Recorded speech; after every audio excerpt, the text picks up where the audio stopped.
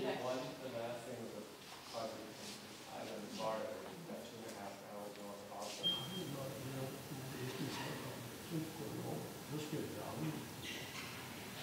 Well, that was said, no, I want that expansion. What do you want to do with it?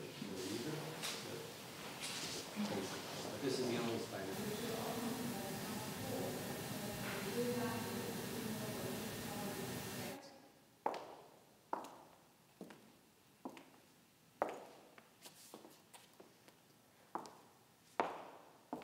With the cells, uh, she could create uh, her own spaces that were independent of random museum spaces uh, that her works could be placed in.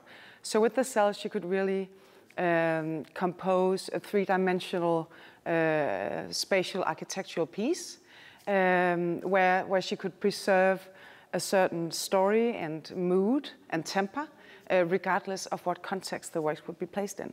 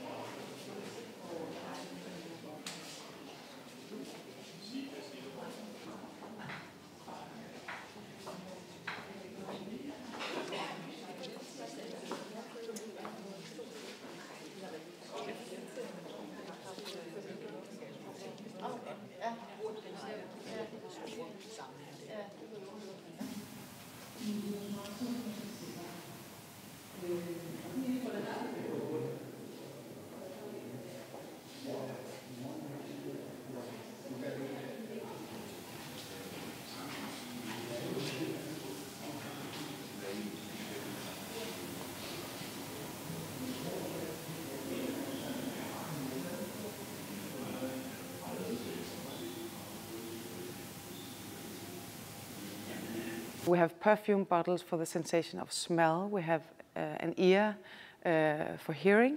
Uh, so all the, the different senses and their relation to memory.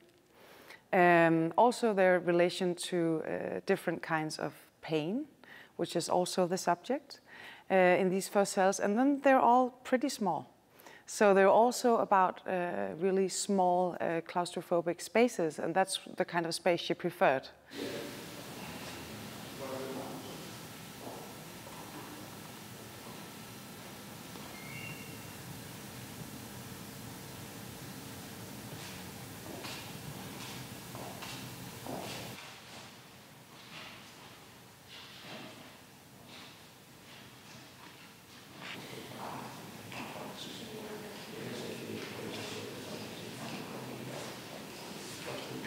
I think she liked creating her own architecture to house these objects, to set the scale, to make room size installations, sort of claustrophobic spaces that the viewer could enter. In certain cases, the viewer could look from the outside. It sets up different kinds of relationship to the body in a way.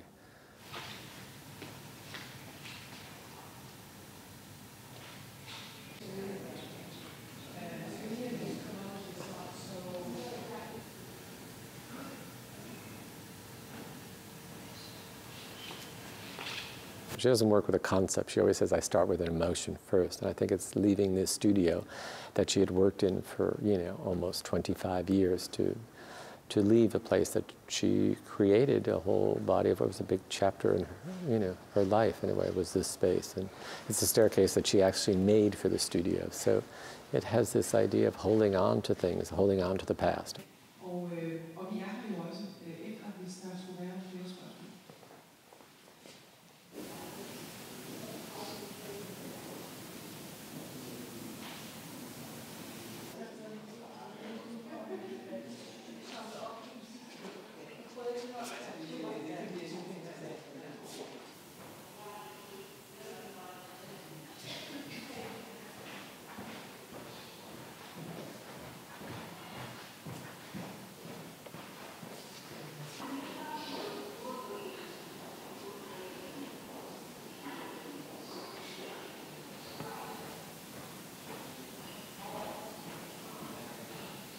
I've looked her up in, uh, in various um, encyclopedias uh, that are not brand new.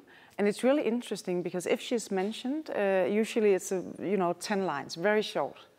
And uh, if, if we were to, to write uh, new encyclo- encyclopedias today, and that's being done right now, uh, she would most certainly um, take up some more space.